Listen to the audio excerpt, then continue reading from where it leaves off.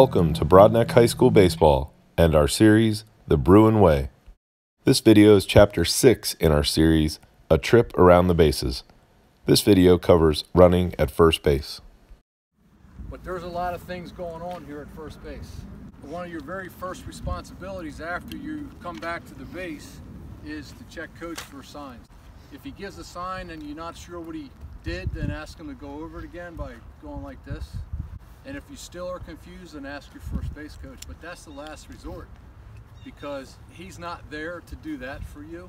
You should be able to do that on your own. But if you're confused, then go ahead and ask him. Foul ball, and you're coming back, retracing your steps. Let's get our sign on the way back to the base while the world's not paying attention to us. Um, so the first thing that we're going to talk about is your leads because there are several different kinds of leads. Coach has marked three lines on the field. We show them here with red, green, and blue dashes. The 10 foot, 12 foot, and 14 foot marks will be used to explain the various types of leads we take from first base. Don't look at the bag when you're taking your lead. This is really for our pitchers. If you're coming set and you're looking over and you see the guy peek, I forget what team it was last year. We got a looker. And what he means is the guy's gauging his distance off of first base by looking back at the bag to tell how far he is. And as soon as you do that, they should pick, right? While you're looking away from the pitcher. So you got to know how far you are based on your steps and based on routine. Don't look to gauge that distance. If you're the first guy that gets on base early in a game and we haven't seen this guy's move yet, we're going to ask you to do what we call a one-way lead. Coach is going to go like this. He's, he's telling you to get a one-way lead. It's called that because as soon as that pitcher moves, you're moving one way and that's back towards first base. So here's what it looks like and it's 14 feet out away from first base. That's that's a long ways. Okay? If you don't if your first move is not back to first base, then you're going to get picked off. Okay? But here's how it works. You get off, you shuffle. This is the 14 foot mark. You, you want to be right about this far out. So you're pretty far away, right? However, you start your lead, and this is true for all your leads, your right foot should be slightly back behind your left foot, about toe to arch of your left foot, right toe to arch of your left foot. You bend down and you actually put your weight on your right foot. It's not centered, it's off to your right, okay, like this. And as soon as that pitcher moves, you do a crossover to get back. Right here like this, as soon as he moves, your first move is here, even if he goes home. Okay, because you can't afford to get picked off. We're trying to get him to come over, that's why we have a big lead. Okay, so it's a crossover.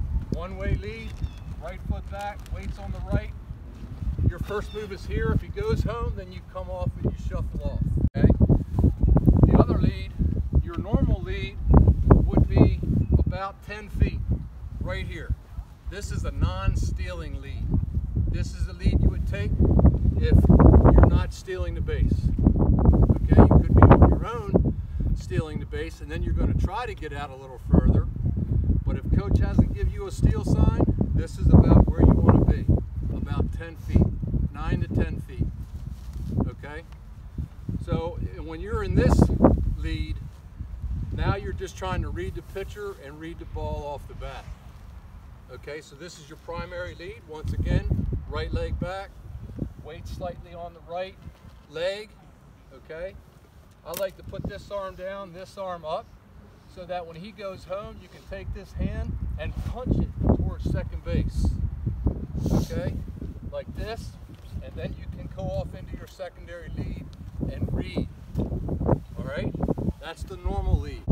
A stealing lead. Come off, get into your normal lead. As soon as that pitcher gets on, and, and sometimes when he comes to a set, you want to take this last couple steps. Get out to 12 feet. Understand where 12 feet is without these lines. Okay, in order to steal a base, you want to try to have a good lead and a good jump then you got to have both of those in order to steal the base. A good lead and a good jump. If you don't get both of them, then don't do it. So most of the time, a guy's first move is going to be with this right foot. It's going to be here, punch, then you cross over. Okay? You kind of do it instinctively. You don't even realize you're doing that with the right foot. But that's the first move right there. Now, if we're facing a lefty, you try to get out there into a stealing lead. Okay? As soon as he moves, as soon as he moves his foot, you're to do a jab back towards first base. As soon as he moves, you're to jab your left foot. And then you're to read him. If he's coming over, you just keep going and dive back. Okay? Every time he moves, when we're facing a lefty, if you're not stealing the base, is a jab. If you jab and he doesn't come over, here, you jab, he doesn't come over, then you come off and get your secondary lead. Now we don't come off in a stealing lead and do a jab on a righty. You don't do a jab on a righty. Suppose coach has got you in a one-way lead with a lefty. Now you're out here. As soon as he moves, you cross over and dive back. Okay, getting back to the bag, um, you're always diving back, right? And when you dive back, you're gonna try to dive to this far corner and get as low as you can. Don't dive up in the air like Superman into the base. Try to get low and dive, okay? If you come off the base like this, and you take one step and he does a quick move over here and you're only this far off and you're not gonna dive, now come back on the inside of the base. Okay, here's your first. You step off like this, he does a quick move, you come back like this. Why? Because now if it's over here, he's got to go through you to get to it. Okay? We're not telling you to hit him and knock him over.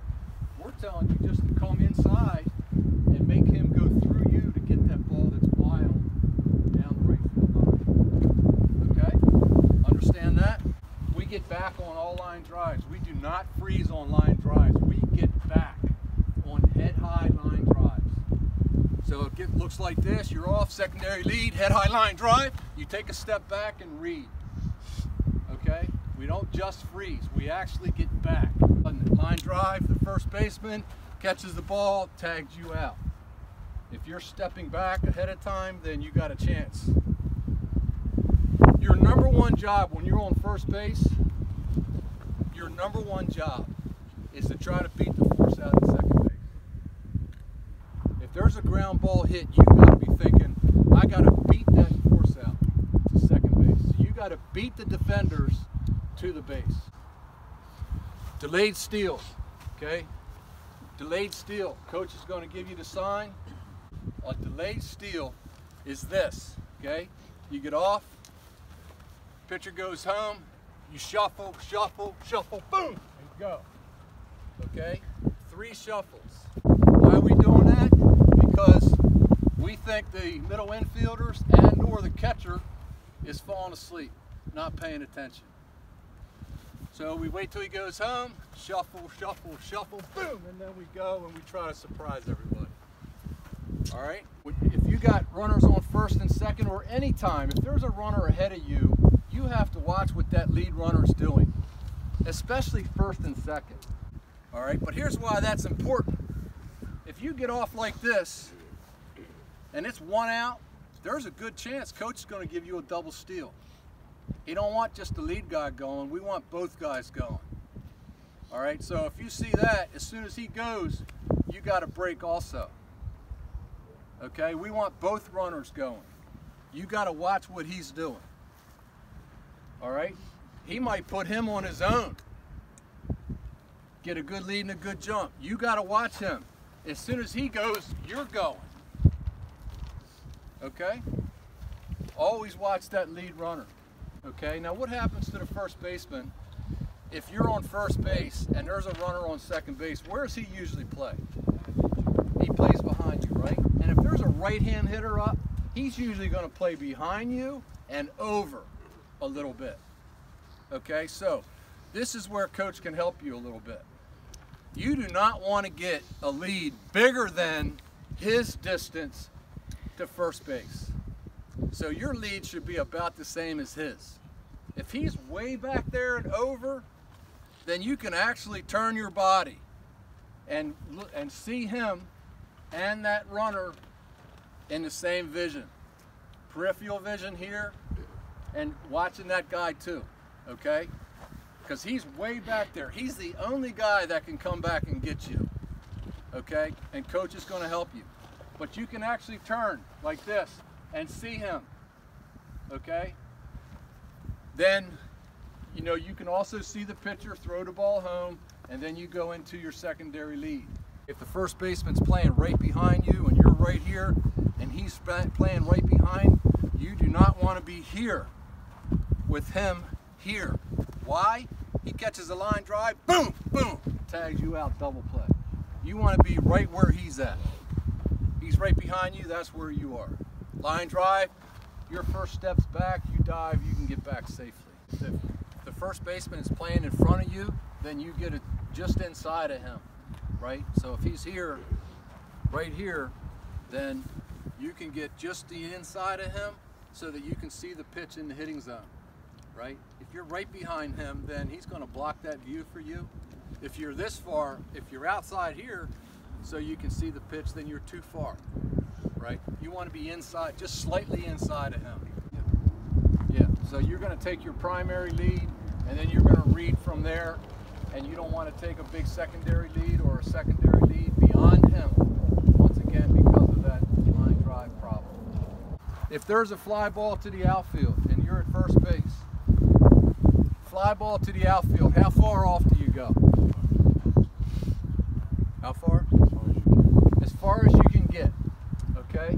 We're playing on a big field, and there's a fly ball to deep left center field. You could go all the way to second base. And you could even take a couple steps off second base if you're a fast guy.